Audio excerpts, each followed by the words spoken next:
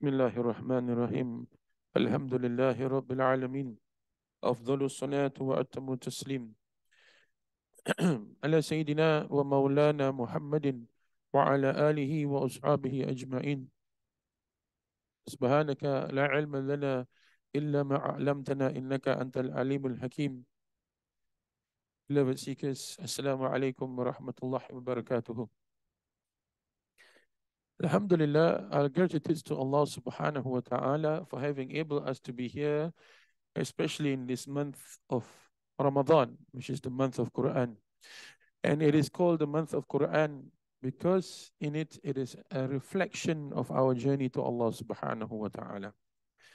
And if we look at this properly, all of our lives and all the stages in life that Imam al-Haddad has beautifully articulated and beautifully translated by Sheikh Mustafa al-Badawi or Mustafa Badawi is, is actually a map for you to understand Al-Quran al-Kareem. So from the time that we were in, you know, the in the loins of Sayyidina Adam, that we took the uh, mithaq is not just ahad, like I've mentioned before, it is uh, it is an oath which is very high because in the Quran verse we did not reply as na'am. But it is a verse that alastu be rabbikum and we replied as bala. So bala is a very high affirmation. So Allah is asking am I not your Lord? If we say yes it's as though we say you are not our Lord. You see? But we say, Verily, Ya Allah, it is an affirmation, you are our Lord. Which means we have already replied with an affirmation. That is our um, yani, our oath with Allah, which we vaguely remember when we entered this dunya. And that's the reason why when we entered this dunya, it, Sayyidina Adam was worried and he asked, Are my descendants going to receive uh, any guidance. And Allah says, Allah promises there will be guidance. And we're in a very blessed ummah. Yani, everybody who is born in this past 1400 years is considered as Ummah to Muhammad. Whether they, are, they accept it or they don't. And the ruling is that if they have received the Risala, and they turn it down, then they'll be punished. But if they have not received the risala, or if they receive the risala distorted, then they'll be forgiven. And this is in Imam al-Ghazali's Faisal al-Tafriqa, on the boundaries of uh, theological, uh, it's a book by Imam al-Ghazali. so if we look at the works of Imam al-Haddad, it is actually reaching out to people, the works of Imam al Ghazali, he made it even more palatable because Imam al Ghazali in himself is a very huge ocean.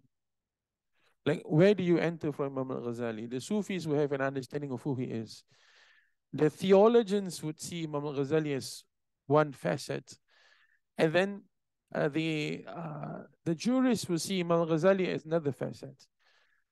Because, like example, people talk about Maqasid Sharia in this day and age, which I feel it is uh, a, dist a distorted understanding of Maqasid Sharia in this day and age. So, Maqasid Sharia is not meant for the awam. And Imam Ghazali has books that he written and this he felt that some of the works of the jurists were only meant for the jurists and even jurists were shocked that why are they teaching this to awam? So Maqasid Sharia is not for the awam. Maqasid Sharia is for the khas. And even for the khas is that means there are scholars who have reached a certain level, not just people who graduate from institutions. It's two different things. Two different grades of people that we're talking about. Proper scholars who understand uh, Sharia not just people who graduate with the degree of Sharia. It's two different categories, you know. That being said, so Imam al-Ghazali, he, he makes the Quran approachable for us. Imam al-Haddad, I mean, if by reading the lives of men, we have not yet returned to Al-Quran, then I have been teaching you wrongly. Or it has not spurred you to be going back to worship, then I have not delivered this class properly, or you have not been listening to it uh, correctly in that sense. Is everything okay? Okay. The Zoom, right? No. Okay, something else. Okay. I shouldn't be capable. Ignorance is bliss. So why why is Imam al-Ghazali important? Because he he has done a lot. So for us to approach Mithal, um, uh, let me see. So example, you want to know, then there is um, there is Mizanu Amal, and then there's another book that he's written, uh, Mir'atu, Mir'atu apa? Huh? No, Mir'atu is not Imam Ghazali. There's another book by him. So one is the theory. He talks about logic, mantik. Another one, he talks about Mizanu Amal. What are the practical steps you need to do to achieve that? And then he he lays down with a few other books in terms of so that's like um, uh, one might say Islam in terms of you know then there's Iman, the books of his Aqidah, um, the the uh, Qawaid uh, Qawaid Aqaid, which is the second part of apa, يعني Ihya Ulumuddin, and then uh, Al-I'tiqad fi Al-I'tisad, which is another book by Imam al-Ghazali that talks about Aqidah. And then the books that talk about Ihsan. The Imam al-Ghazali has written, one of it is Bidayatul Hidayah, another one is Jawahirul Quran, and then the Arba'in, and then, you know, Ihya Ulumuddin. So these are some of the books that Imam al-Ghazali has written. And how do we approach this? So Imam al-Haddad has made uh, you know, because Imam Ghazali is very scholarly, so there are books that he meant for everybody. And there are levels that he pursues for the scholars because his main aim is to correct the scholars. Because, and I wish scholars today, or people who are, you know, leading people, would actually go out and learn and read Imam Ghazali even more. And then they can understand probably Sheikh Abdul Qadir al Jilani but if they can't do that, at least they should approach Imam al-Haddad. That's most important. Uh-huh. So Imam al-Haddad has done us a great favor by, like an example, a summary of Ihya Ulumuddin is An-Nasahatul Diniya wa Wasagatu Imaniya. Nasihat Agama Wasiat Iman. Or uh, Sheikh Mustafa Badawi has translated as the really, councils of religion, right?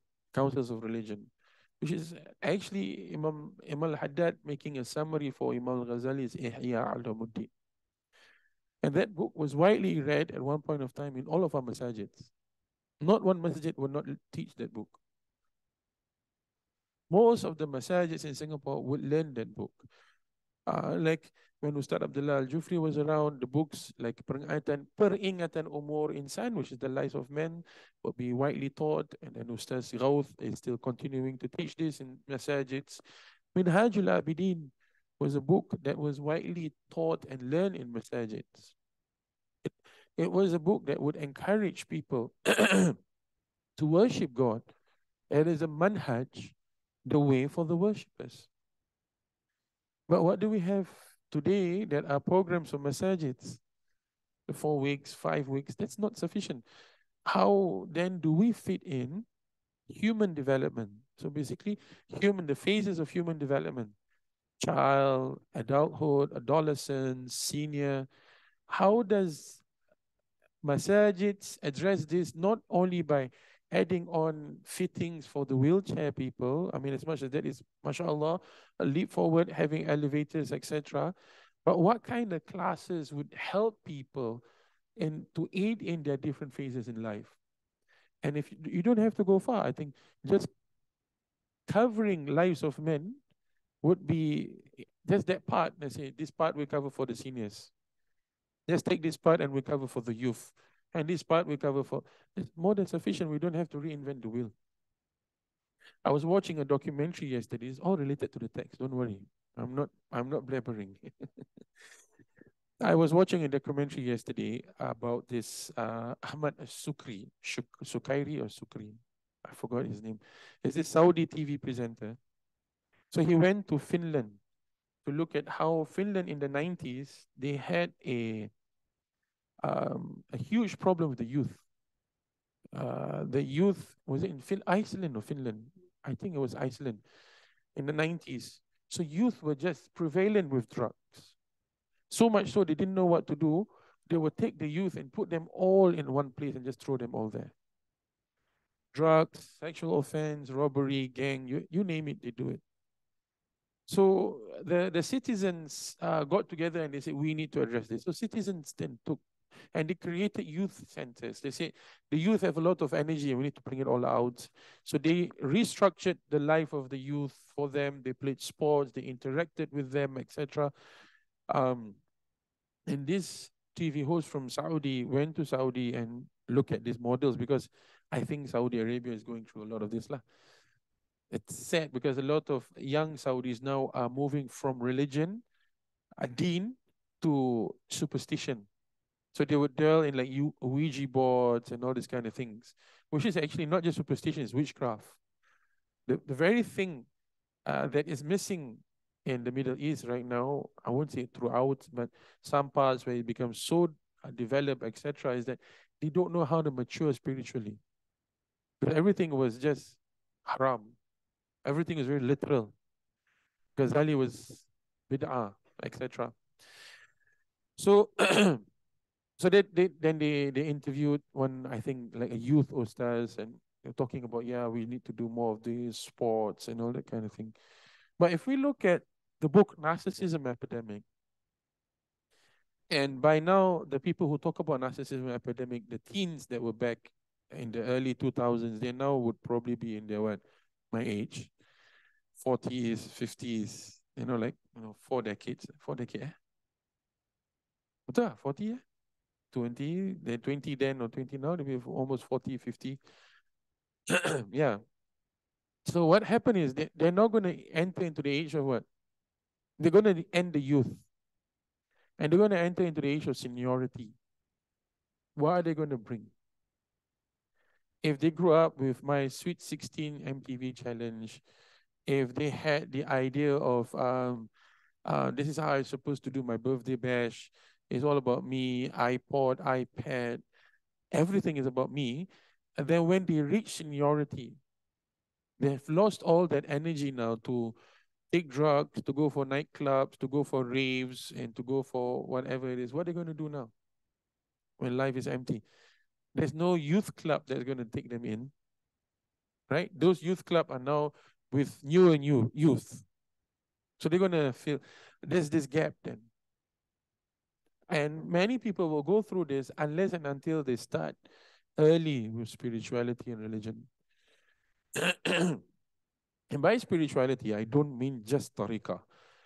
Uh, I think uh, one of them was asking, um, like, is tariqah, uh, you know, they feel like they are, how do I say that?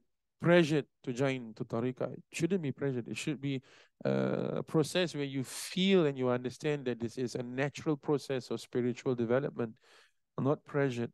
If it's pressured, then, then it is, uh, it's not going to work. Lah. Anything that you're pressured to do that doesn't come from the passion is not going to work. Halas. So again, um, what we call this, um, uh, any, the very thing that I try to avoid, fanaticism. Fanaticism will not bring anything out. Fanaticism will not bring goodness out in anything.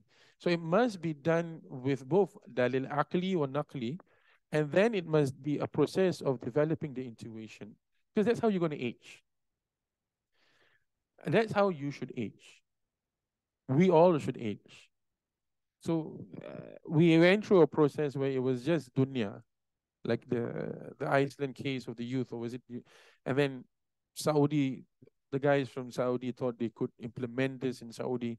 But actually, we already have that answer. Imam al-Haddad spoke about that answer. 400 years ago. Imam al-Ghazali spoke about it many years ago. If you just go back to our books of Turath, it is all there. Because these people who wrote this book, they too had a youth. But how did they then spend their youth? Example, the word riyad, the word riyada. Riyada is the word of what? What does it mean in modern Arabic today? Riyada. Exercise, sports, right? Training. But in in traditional Arabic, what does it mean? To exert oneself into riyada, which is like a spiritual work for the nafs. But it also means to exert oneself or to exercise to be part of a, spiritual or a sport, which means there's a certain secretness in physical activity. There's a there is sacredness, not a certain, there is sacredness. Because why? You need to take care of your physical self in order to be able to benefit from it spiritually. So if just take the physical aspect, which what we see today in this day and age, where people are just, you know, going around and they are parading their bodies in terms of like, this is how I work out and this is how I do it and look at how flat everything is on me, like from here to here, semua flat lah. Tak ada, dia tak gemuk pun, flat, everything is slim. You know, uh, it's not natural. It's not natural at all. But if you they have lost the spiritual essence of sports which is actually uh, the process of sport spiritually is to reach to a point of itqan mastery. And Rasulullah says uh, he praises those who do things with mastery itqan. Which is actually the next the step before chivalry. What we've been discussing every Monday when we talk about futuwa. So Imam, Imam al-Haddad, when he talks about this process of uh, reaching seniority, you must remember that it encompasses all of this.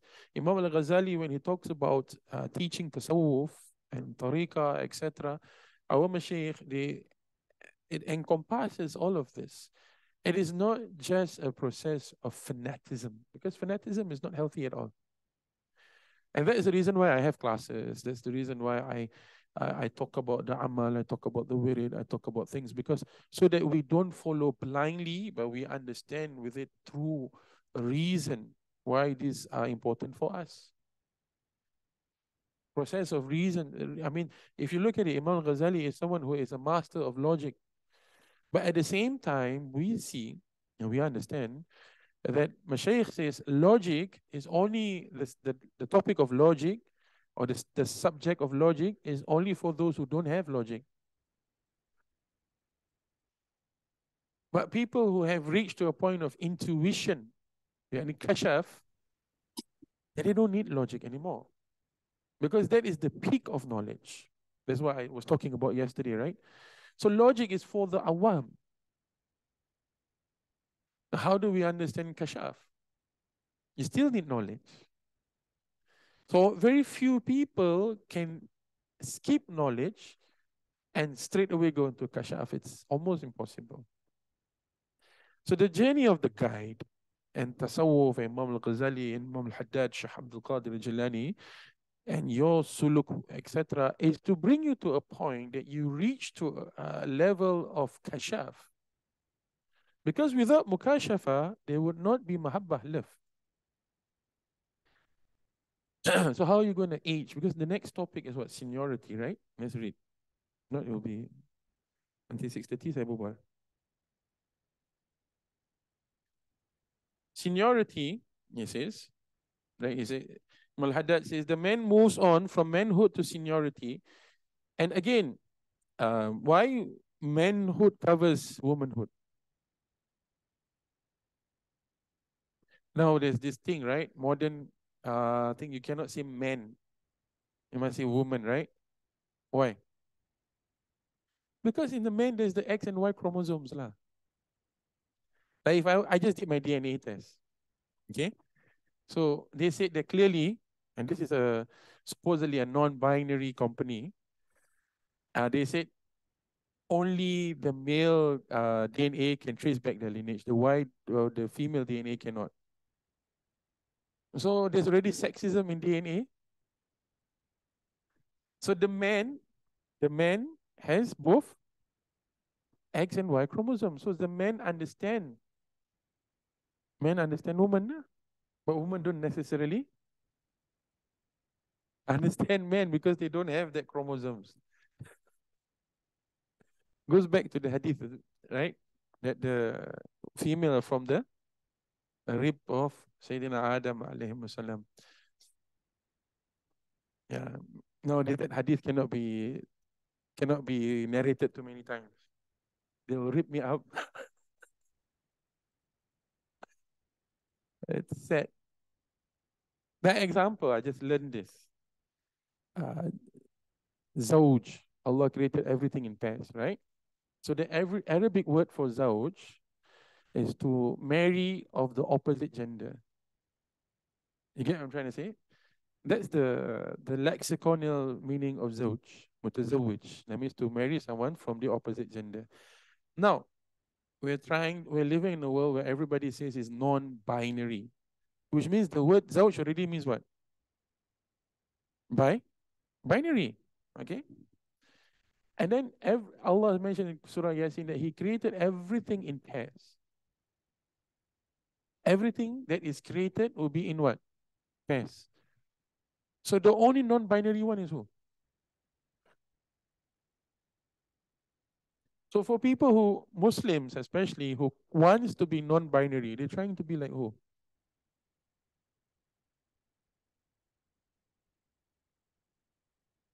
Yeah, why you look shocked? Amalina, okay, right? Huh? Realization. But it's just simple things like this. Allah has settled this in the Quran already. If we we understand this, then the tak payah gaduh lah.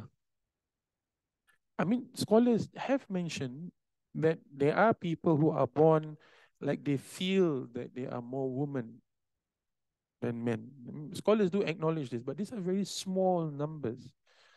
The rest, according to them, are people who, because of environment, they habitually became like that.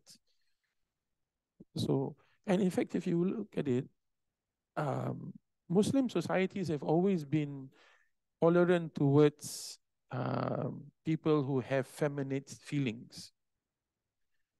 Uh, and they are more feminine. I think Muslim societies, um, unlike other, because you see them in India a lot, there are even just tariqas, Sufi groups that just take care of them.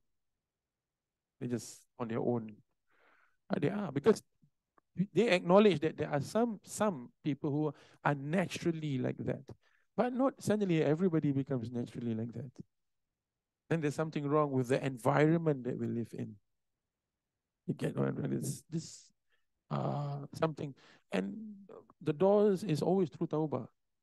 But you cannot fight. You cannot fight Al-Quran. Quran already says that it is binary. You cannot. Says that it is non-binary because the only one that is non-binary, according to just the scripture, is Allah because he's neither male nor female. He is not created.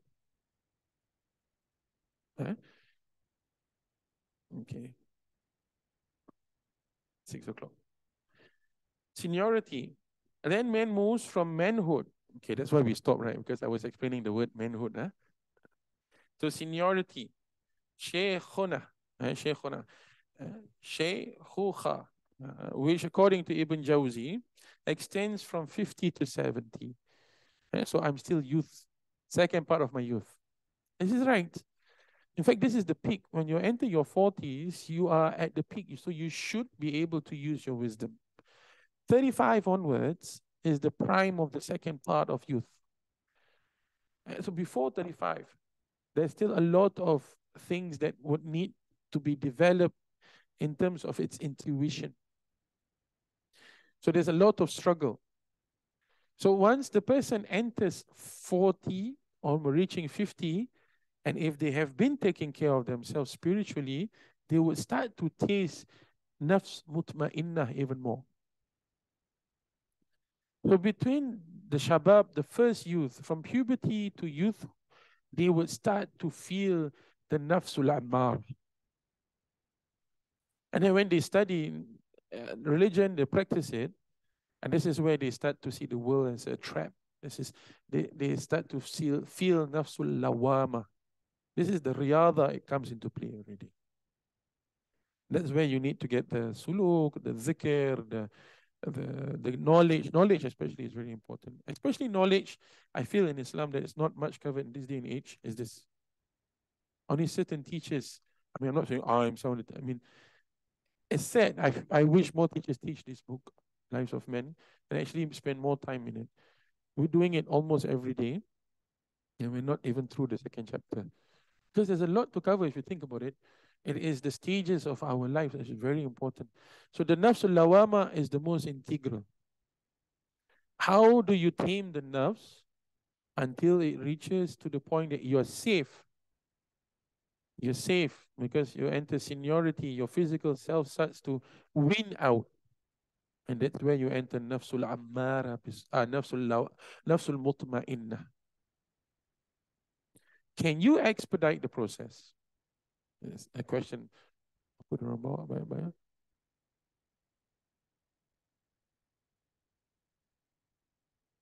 Do they need help? Yeah. Can we expedite the process? Um, there's no expediting, but we can ask Allah for uh, to beautify and to make it easy for us. And if He decides to open it for us to the the the easier level of nafs, that's T. Oh, I put it. Oh, okay, Masha. Oh, okay, thank you. Come have a seat. Thank you. so the the dhikr will open insights for us to understand nafsul lawama. So from nafsul amara, the ibadah, the dhikr, etc., will open up doors for us to understand that. And then from nafsul lawama to nafsul mutma'inna. And then the process of this, the reason why knowledge and dhikr is really, really important. Uh -huh. Thank you, both of you. God exalted and said, then he brings you forth as a child, then that you attain you your full strength, and afterwards you become old.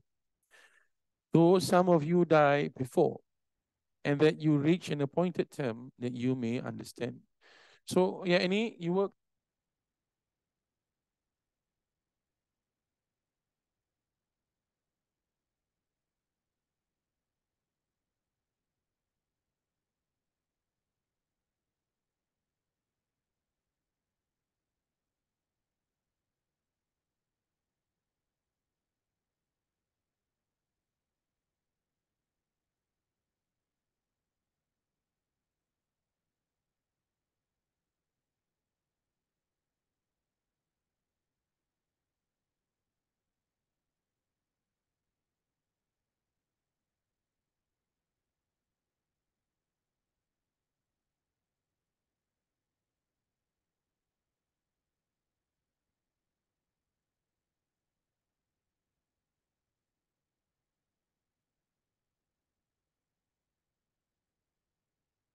So it is really important for us to understand that Allah has given us this youth.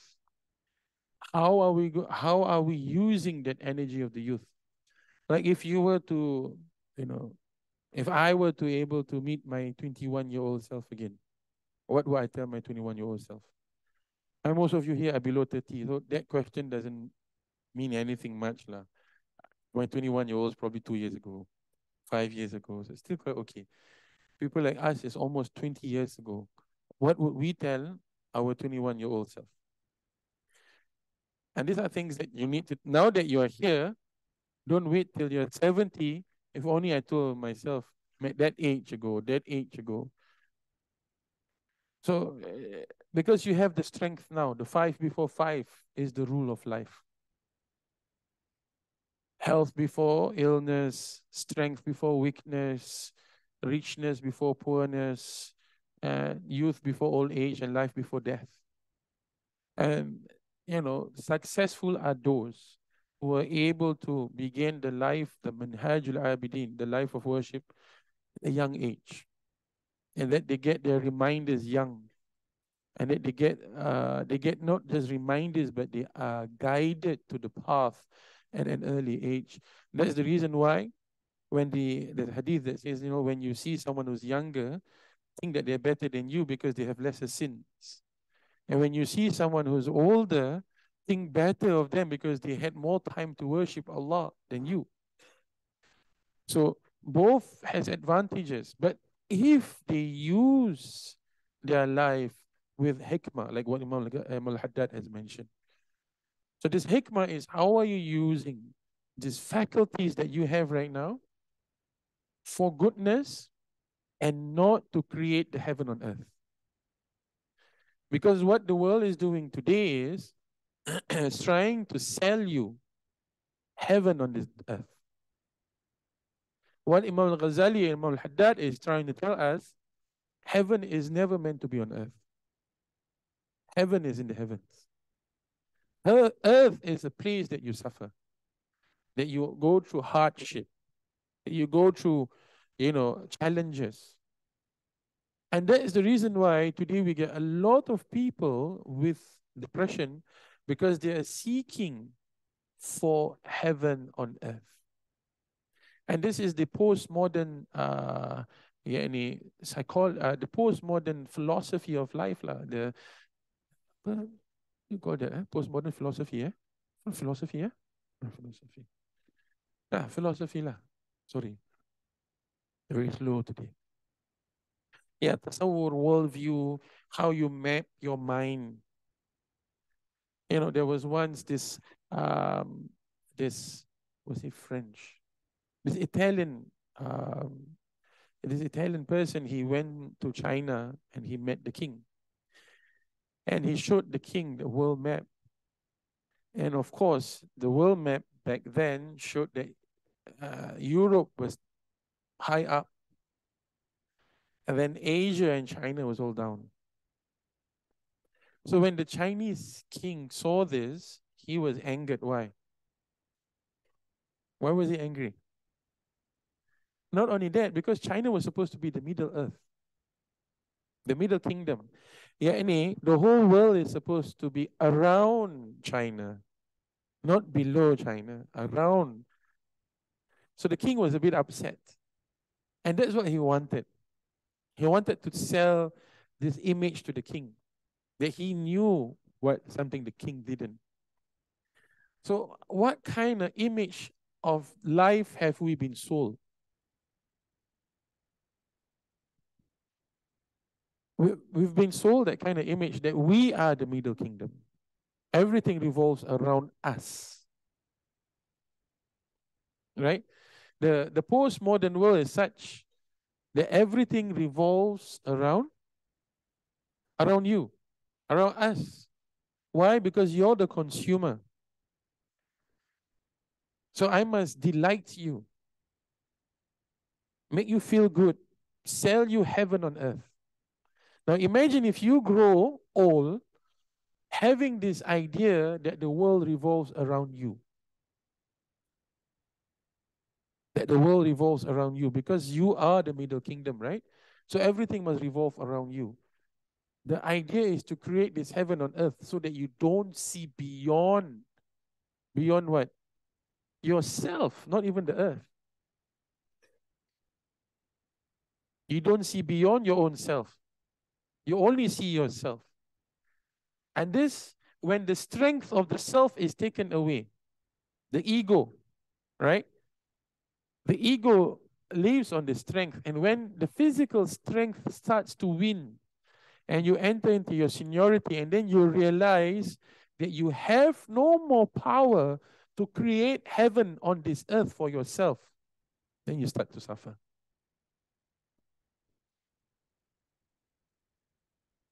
And this is this is the utopian godless world that the current world is trying to sell you.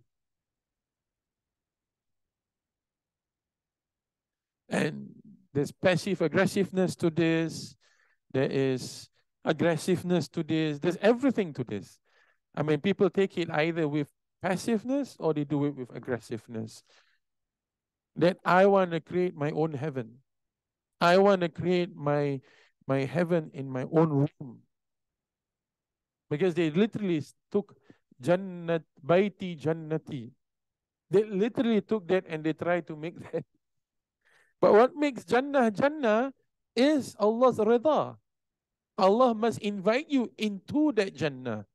You can't create Jannah. If you can create Jannah, then who are you?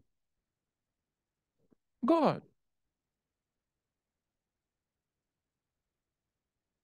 So I must have my this and that and this and that.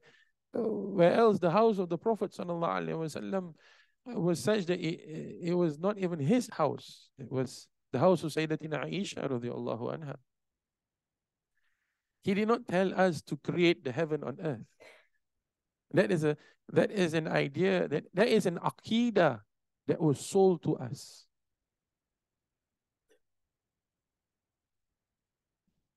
like you know we have the american dream we're starting to have this even for our own country now right we we want to have our own way of doing things we have to have a way of thinking of doing this and that what happened to the world as a village right we had that in the 90s but the whole world is a village konon the whole world is one big village no more no, I am my own village. We, we're starting to think like the Middle Kingdom.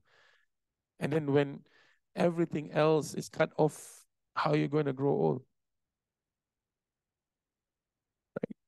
At this time, the earliest signs of weakness begins to appear. Strength recedes. Strength recedes. And the period from fifth, from 60 to 70 is that which the messenger of Allah sallallahu alaihi wa wasallam and call the battleground of death.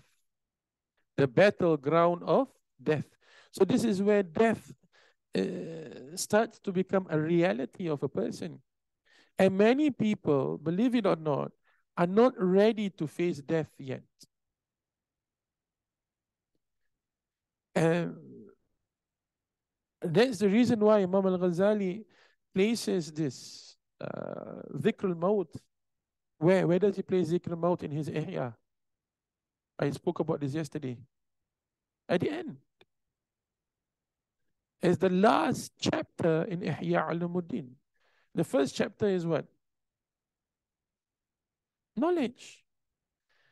The ignorant would not be able to face their death. So it's not just about worship. Everybody can pray. Semua orang can pray.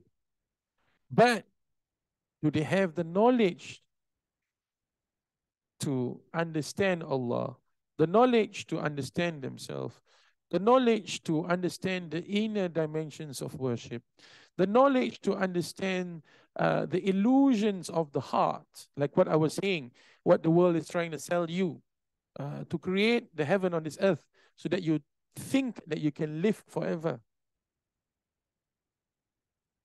We're all not, no one is going to live forever. So, how then are you going to prepare for this short journey? We're just here on a journey. And this is what Imam al-Haddad is saying, is a battleground of death.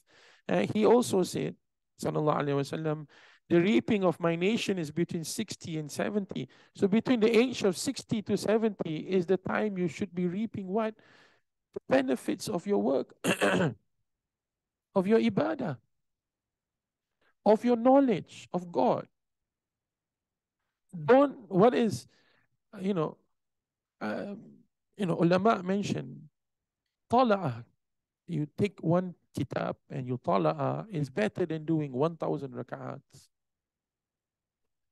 That means you open a kitab and you study the kitab. It's better than doing alfa rak'at. 1,000 rak'at. So that is the reason why we're having knowledge, we teach. So that you don't do 1,000 rak'at for whom? For yourself. This is what Imam Ghazali mentions in, in Minhaj al-Abidin. He says, a man's outer action cannot be sound unless be known the effects of inner actions on outer ones and knows how and from which of the inner actions he should keep himself aloof. Yani, what are the effects of the internal self that would destroy your ibadah? And what are the effects of the external self that would destroy the heart within? And this is where Imam Ghazali places it in the third uh, of the quarter of Ihya. And Ajaibul Qulub, when he talks about the what? The illusions that the nafs would cast upon us. And these illusions become a reality if you don't tackle them at an early age. And that's why Imam Haddad says, he quotes the hadith, you know, by the time if you reach 40, if you don't get your ibadah life, your religious life into order, then goodbye to you. Although, of course, people might say there are chances and all. Yeah, but 40, Allah has given us 40 years. 40 years is a long time. If you're in your 20, then know that you're already halfway through the journey. If you have already reached 40, like what he has mentioned, he says, every morning there is a bird that announces from the fourth heaven. He goes out from the fourth heaven and he says, Oh people of 40, you are a crop whose crop whose harvest is nigh. That means by 40, people you must be able to reap your harvest ready. Ada hasil. O people of 50, what have you sent ahead of you? Yani what ibadah have you done? Ini bukan, this is not the qadha. This is already that you have prepared yourself in the that you're going to bring forward. And what have you kept back? Oh, people of 60, you have no excuse. People of 60, you have no what? Excuse. Would that creature have never been created? When created, they know why they are created. The hour has come to you, or oh, beware. That means by 60, Ajal is just here. Of course, Ajal can come to those who are 20 as well. Doesn't matter. But if we are able to reach 60, then know that Allah has given you so much fadl. If you're able to reach 40, then Allah has given you fadl, 50 fadl goodness, barakah in life. He's been patient. Then after that, what are you going to do with yourself? These are strong reminders, and that's the reason why books like this are not as popular as they used to be. Because it clashes with the modern mind. The modern mind tells itself that it needs to what? Create the heaven on earth. the closest we can get to heaven on earth is majalisatul dhikr and the rawdah of the Prophet That's it. Everything else is not heaven and earth and will never be. And that too, if we're able to take care of the adab when we enter such places, when we are able to be given the, uh, that's the reason why adab means discipline, it doesn't just mean etiquette, it means discipline.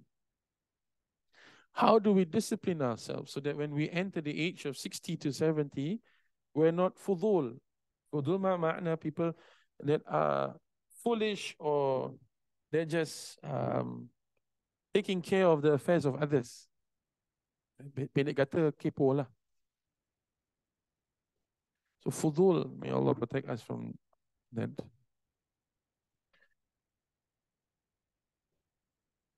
The reaping of my nations is between 60 and 70. It was at this age that the Messenger of Allah sallallahu alaihi wasallam moved away, passed away at the age of 63. As did Sayyidina Abu Bakr, Umar, Sayyidina Ali, with may Allah be pleased with them all. As for Uthman, he lived past 80. Okay? So most of them, they got the sunnah of passing away at 63 except for Sayyidina Uthman. And that too because he had a reason to still be here to take care.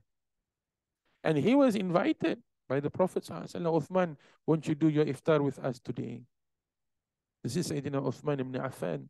Even that, how did he, his nights, you know, one raka'at is the whole Quran. It's something that you cannot even, you can't do. It takes, you know, there was someone uh, who tried to do one one day Khatam al-Quran and it took him about seven hours. Another sheikh took about 14 hours. So there was this sheikh uh, in the Middle East. He Khatam al-Quran every day. So he spends about seven hours to eight hours. Someone asked him, he says, no, this is not for you. He tried it, that person took 14 hours, which means what?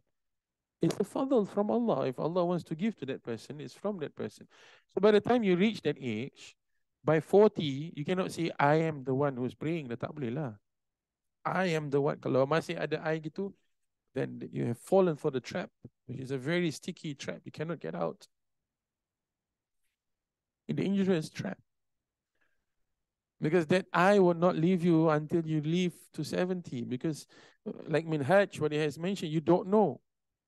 You know, about what is external that is causing the in illness internally and what internally is causing the defects of your external worship.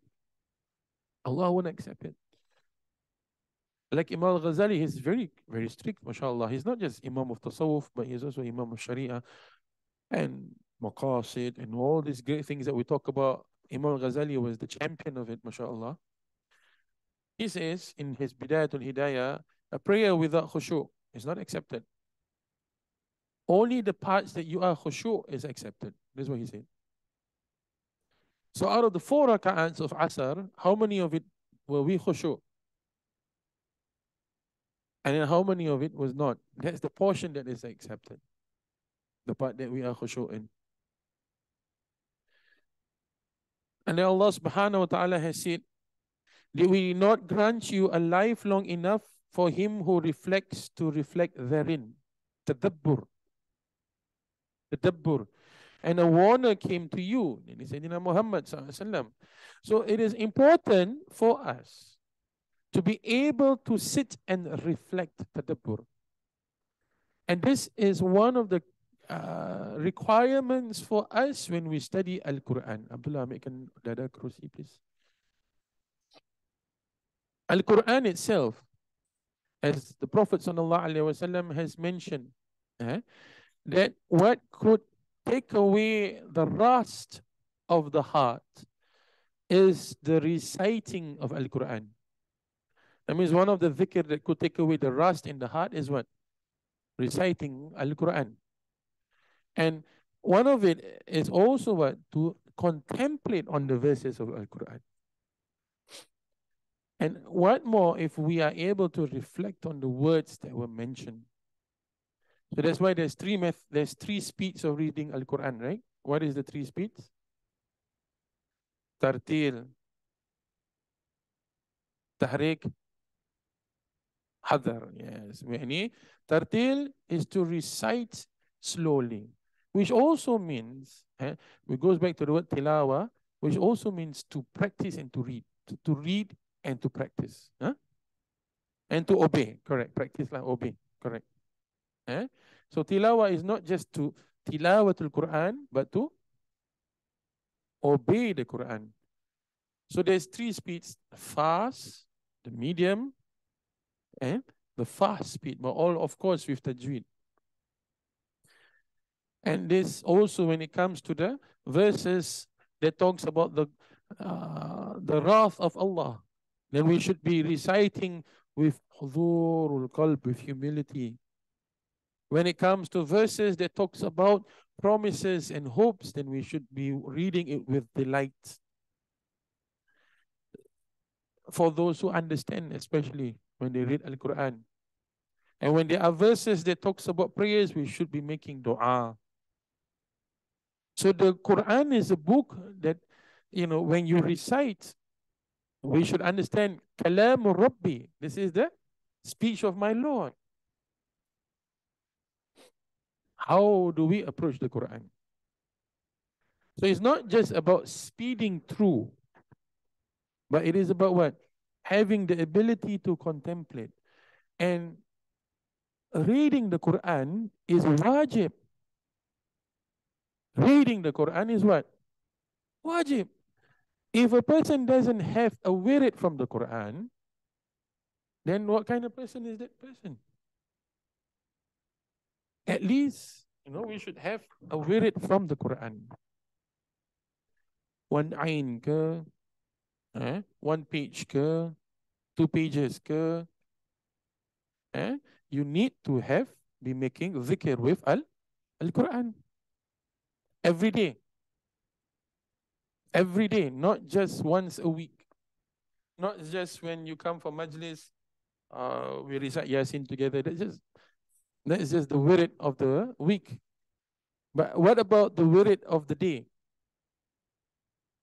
That's important. Huh? There was one of the reciters of Quran from whom we receive our kiraat uh, of Warash. And what's the name of the reciter? I forgot the reciter's name. It's okay. It was mentioned that when he, he was the Imam of Masjid Nabawi for about 60 years, this is many years, this first 300, less than 300 years of the Hijri. And it was mentioned that when he, he speaks, the smells of musk. The reason being because he had a dream that the Prophet ﷺ spat into his mouth. So from then, henceforth, whenever he speaks, it would emanate the fragrance of musk. Huh? Ah, Imam Nafi. Imam Nafi, the Imam of Medina. Apa dia? What did he say? Nafi. Imam Medina, Imam Nafi. When he speaks, it emanates musk. Not because he's fasting and Allah says those who are fasting, not based on that hadith.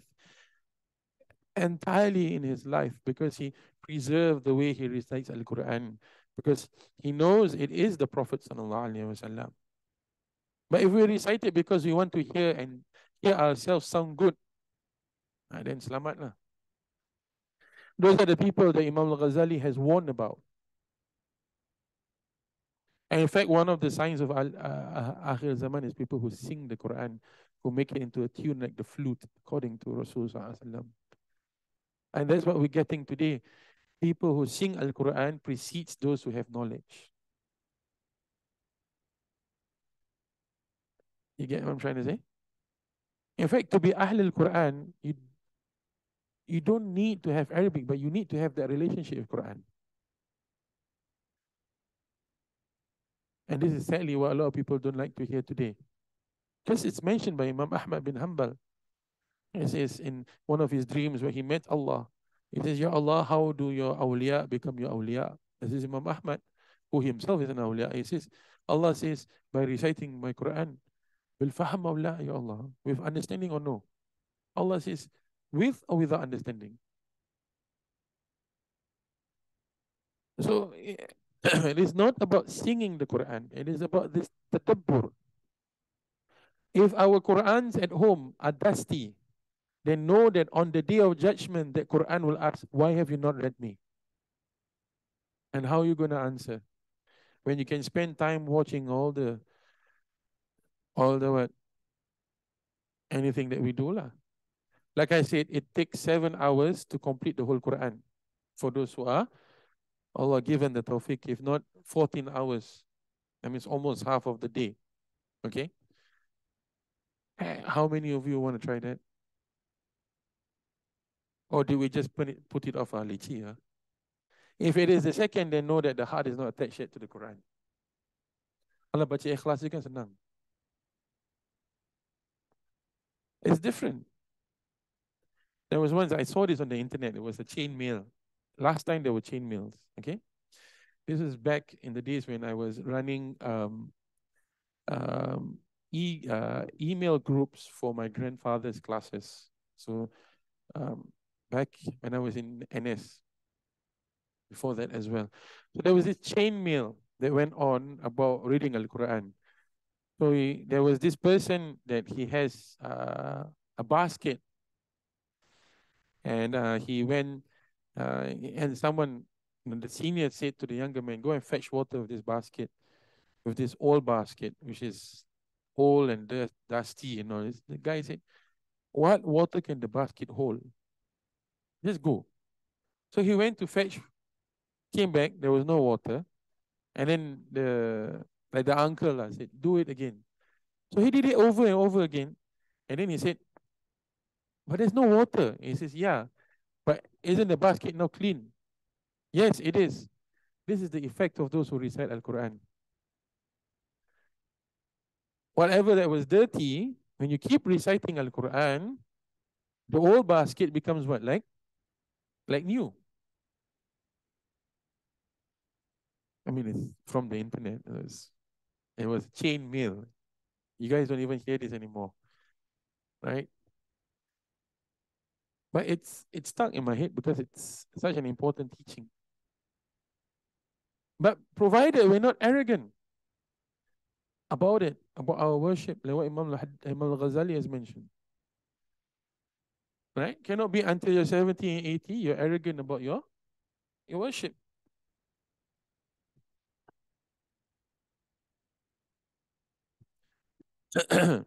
Allah subhanahu wa ta'ala, okay. It is said that the age referred to is 60, while the warner uh, is the Quran or the Prophet sallallahu alaihi wasallam or the gray hair. So one of the warner of death, of maut is what? Shayban. Shayban ma'na, white hair.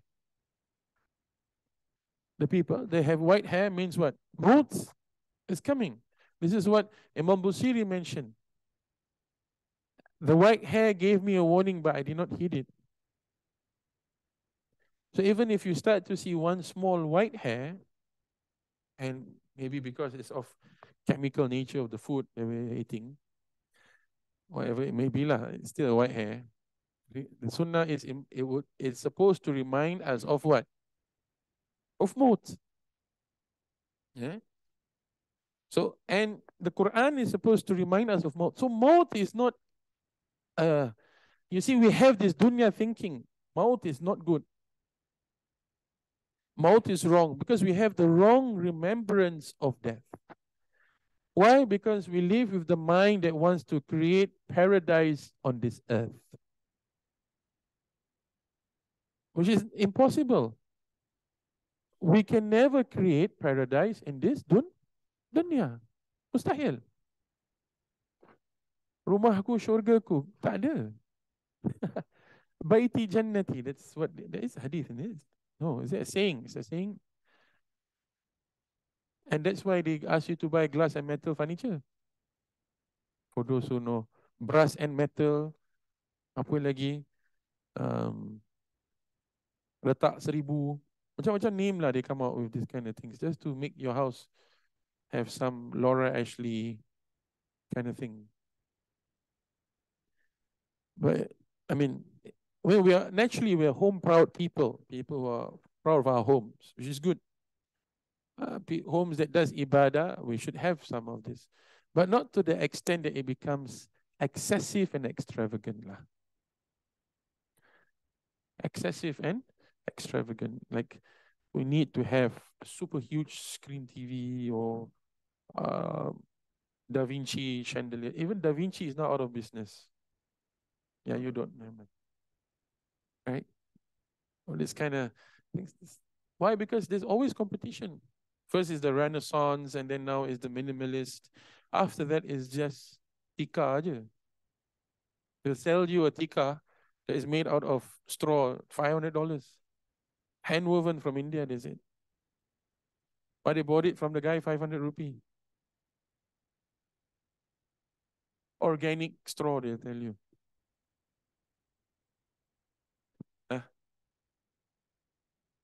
It's but you have this idea that you're creating creating this utopian desert feel. That, that's what they're selling you, an experience. But when maut comes and you go back like the desert, now what are you gonna what what are you going to bring? Nothing will follow you. Not even your jasad will follow you because your jasad will decompose. The jasad will decompose. So not even your jasad will follow you. So what are you going to bring for that? And that is the reason why when we study Aqidah, we must start to make friends with the warners, those who warn us. Here being whom? Who are the warners? You don't have the book. Macam mana belajar tak ada buku? Okay, who are the warners? Ini buat lain buku. Well, who are the warners? Huh? Quran lagi. Messenger and the grey hair. If all three has appeared and we still have not taken heed, then there is no fourth warning because the fourth one, Malakat Maut himself will come. And how are you going to receive him?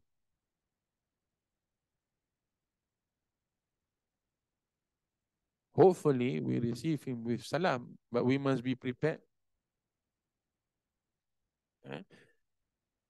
Okay. And then God has, which means he has left him no way of excusing himself by saying that the end came too soon and his life was too short. So no one can say that, ah, my mouth come too soon lah. Or my life was too short. Life is meant to be what? Short. That's why you have to play hard. That's what Reebok says. All these brands, they play around with your life, you know. Life short, play hard. Now I don't know which other company uses this, but it was a sports brand that used this. Life short, play hard. Or just do it. So there's no need to think, no need for knowledge, no need for God. There's no need for right or wrong, no need for ethics. Just, just do it. Like, you know, party all night long. These are the things that has been uh, propagated to us. Entertainment is important. It's okay if we have to spend a few hundred dollars to watch a certain celebrity or art thing or something like that. But it's not okay for us to spend a bit of time not even asking for money to stay up for Laylatul Qadr. You see? I mean, we probably stay up if we see a celebrity doing it lah. Oh, lah, celebrity ni pun dia pun sebayang malam 27. I pun nak sebayang. That's our life today. We are inspired by people of Dun, not the warners, like Imam Haddad has mentioned. Who are the warners? The Prophet Sallallahu the Quran, and the shayban, the white hair. And if we're not heeding this warner, don't blame Allah. Death came too soon. Your life is a risky. The people who are dead, who have died, they said, if only we can come back to life just to say one subhanallah, walhamdulillah, wa la ilaha illallah, wallahu akbar. That means they are already dead and they want to come back just to say this once. And we have this opportunity right now in Ramadan to be making tasbih, tahmid, tamjid, tahleel to Allah. How many opportunities of this we're not taking, we're not doing? And those who are dead, they envy us who are still living. And that is the reason why if you read uh, Ibn Qayyim's Kitab Ar-Ruh, so if you have all this question about do the dead receive our rewards, go and read Ibn Qayyim, Kitab Ar-Ruh. He's mentioned this. You know, how do the people who are dead, do they receive your rewards? How do they react towards your rewards and all of this? They, they see it, you know, for those who do not go with Amal, their kubur dark. And even one Fatiha that is recited by the stranger upon the whole kubur, that one Fatiha, people will rush out to take it. And that will be the sustenance for them. It's because we are not aware of the afterlife yet. But we have the three warners. Who are the three warners? Quran, Rasul, Shayban, the white hair. It should be sufficient to tell us that we need to do ibadah such that when we enter the kubur, there will be no questioning. And that what we have to do is like the story I've recited, shared with you, is that this lady, her daughter dreamt of her mother. Her mother died and the daughter dreamt of her mother. And then she asked, What did Allah do to you, O Ummi? And then the mother was like, I waited for Munkar and Nakir to come, but they didn't come. I waited and waited and waited. The angels didn't come. So I got up and I pushed the, the wall around me because it seems that it was not strong. I pushed and I saw another place. I saw another place. And this place uh, was beautiful. So I walked towards the place and I saw there were other ladies around. And I said, Where is this place? And they say, Hada Barzakh. This is Barzakh. And he says, Well, I've been waiting for Munkar wa Nakir. Didn't come. And then the lady smiles and says, This is the Jannah for people without hisab. This is the Jannah for people without hisab.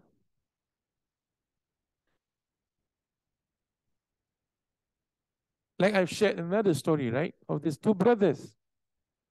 So one of the elder brother passed away. The elder brother passed away, and then, you know, he dreamt, the younger brother dreamt, and says, Ya akhi, what did Allah do to you? And he says, Well, Alhamdulillah, you know, after I've passed away, I didn't know I passed away. So until I reached the kubur, I I thought I was sleeping, so I woke up and I look for my siwa because he has this habit of sleeping. Before he sleeps, he would siwa. And when he wakes up, he would siwa and he would recite the dua after waking up. Alhamdulillah, ahya ba'da ma'amatana wa nushur. It's a long, there are many du'as upon waking up. This is the basic one. So I I saw two guys coming, one in front, one behind. That's how Munkar and Nakir will come. These are how the two angels will come. They will come in this method, and they will one will stand in front. So the angels were looking at this man because he turned right and left. He was looking for his what? Siwa. And then the angel said, What are you doing? I'm looking for my siwa. Why are you looking for your siwa? You already did.